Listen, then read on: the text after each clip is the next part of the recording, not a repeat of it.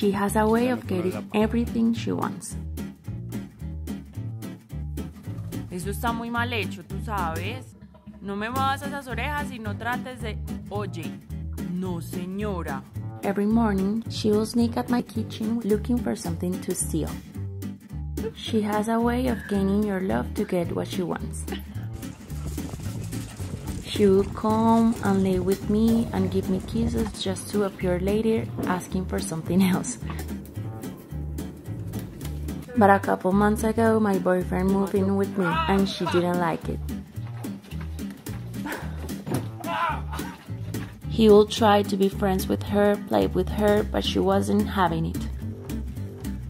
She didn't want anything to do with him.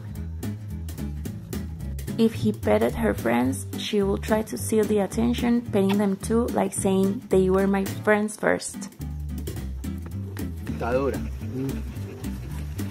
No quiero saber de usted.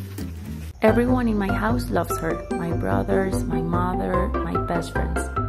Even some of our rescue animals love to spend time with her and give her kisses and pets. She loves being the center of the attention. Ya, Clementina. ¿Me puedes dejar tranquila, gorda, que voy a leer? She will stick her head in the trash and the lid will get stuck in her head. Vea, ¿cómo se va a salir de ahí? Muestre. Clementina, estabas canequeando. No sé de dónde saco la impresión de que estabas canequeando. Clementina, otra vez estabas buscando en la caneca, ¿cierto? Otra vez.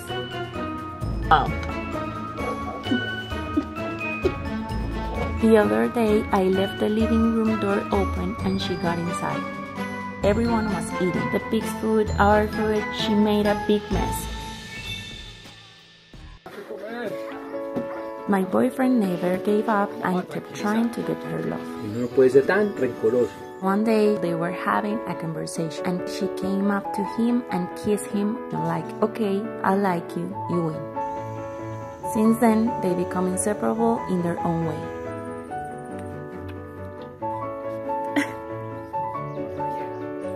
So much that now I feel jealous because she forgot about me